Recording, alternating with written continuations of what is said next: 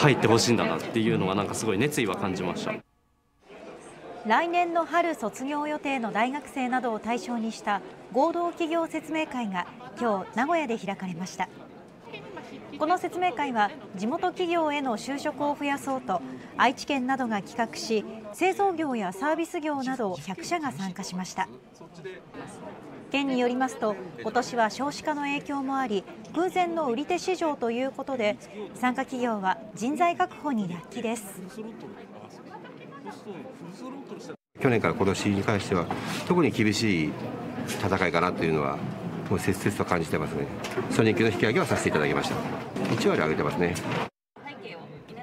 給排水や空調工事を請け負うこちらは初めて社長自ら乗り出し熱烈アピールです。